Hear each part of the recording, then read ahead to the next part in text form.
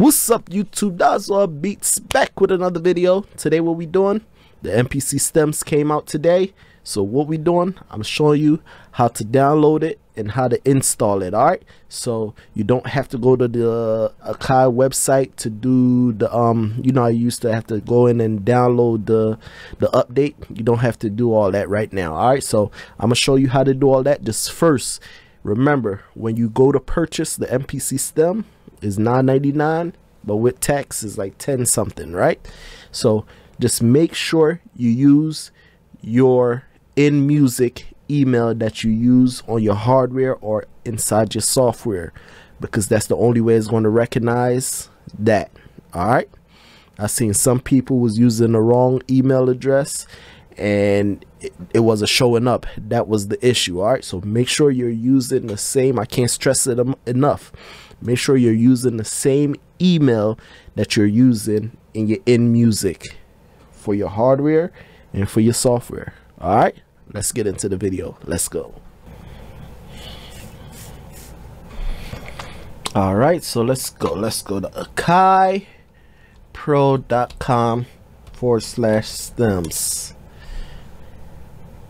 right here. Buy now make sure you buy with your InMusic um, with your InMusic email address because you when it's time to go in here and activate it you need to activate through your InMusic all right? So use your InMusic email and password that you already have all right? So let's go. We want one copy. Um let's use PayPal. All right I'm block this out for y'all. All right so right here is where you would have seen it said update right here and this is where you would have hit update and then it would do the installation of the MPC2 software for you. All right so that's right there.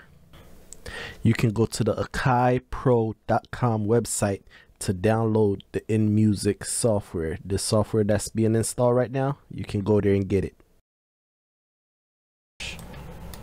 And there it goes now hit activate. Now it's activate. Now you got to download it.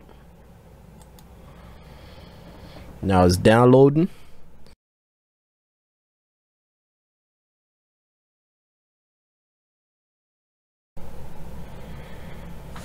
Let me turn on the MPC key while that's running Alright, so it's now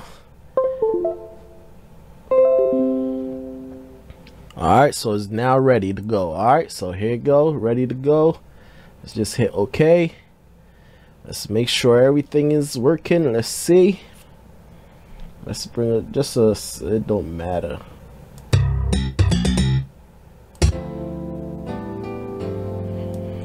Alright, let's use that just for instance.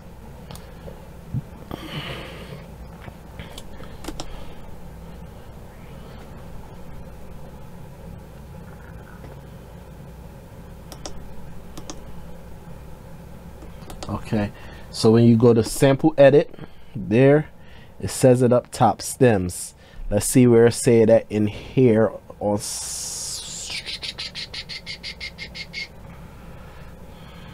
it says it right here. Inside the software it says it right here. On the hardware it says it right on top. You can't see it. Once you go to sample edit it says it on top. Once you in the software it says it right here once you're inside sample edit right here. Once you go to sample edit right here is at the top. All right so let's hit that see what it look like. Bam. Let's just all right so it did pop up. Let's cancel it. So that's how you install it. Let's do a recap on how to do it. You'll come here.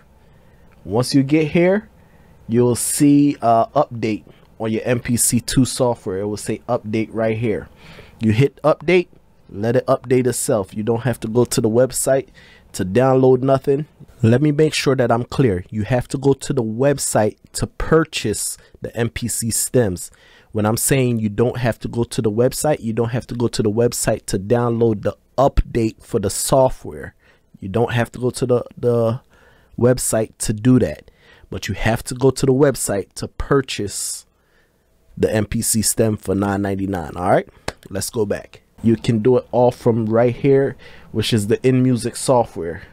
The InMusic software, you download and install that. If you don't have it, come right here where your MPC2 software is at, hit update. Once you hit update, it will run, right? And it will do the update and it will tell you when it's finished. You do the installation wherever you want to put the MPC um, DLL, which is the MPC as a VST. If you use it other programs, you'll it'll ask you where you want to put that, and then once that is done, make sure you already purchased the product, right? And once you purchase the product, you'll come here uh, to edit, preference, activation, and once you update it you should see the MPC stem separation at the top. And it was it wouldn't have nothing it, some of y'all probably won't have nothing right here. All you have to do is hit refresh if you already purchased it with the same login information that you use right here. And it worked perfectly fine just like that right?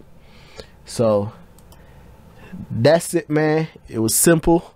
It works now it's time to get in some music, all right? Catch you in the next one. Let's go.